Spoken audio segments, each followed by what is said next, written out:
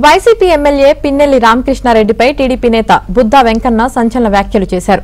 పిన్నెల్లి అరాచకాలకు మొదటి బాధితుడిని తానేనని ఆరోపించారు. తనపై బోండా ఉమాపై తురగా కిషోర్ అనే వ్యక్తితో దాడి చేయించారని తెలిపారు. తమను చంపేందుకు ప్రయత్నించారని మండిపడ్డారు. రాజకీయ కక్షతో తమను హతమార్చాలని చూశారన్నారు. ఎన్నికల తర్వాత వైసీపీ నాయకులు విదేశాలకు పారిపోయేందుకు ఏర్పాట్లు చేసుకున్నారని ఆరోపించారు. పిన్నెల్లి రామకృష్ణారెడ్డికి మొదటి బాధ్యతని నేనే. అవాళ వాడు ఏలంపాట పెట్టాడు.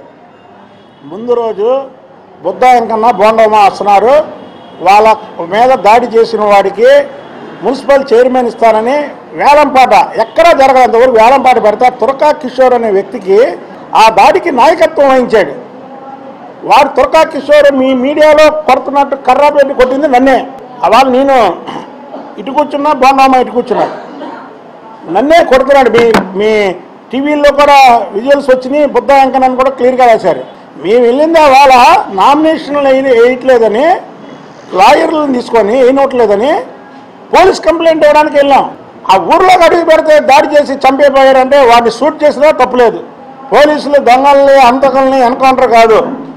ఇలాంటి వ్యక్తులను కూడా ఎన్కౌంటర్ చేయాలి. నాలుగు సార్లు ఎమ్మెల్యే అయితే ఏంటి ఎక్కువ? అతను హత్య చేయించే పద్ధతిలో ఉన్నాడంటే అసలు ఇంకేంటి?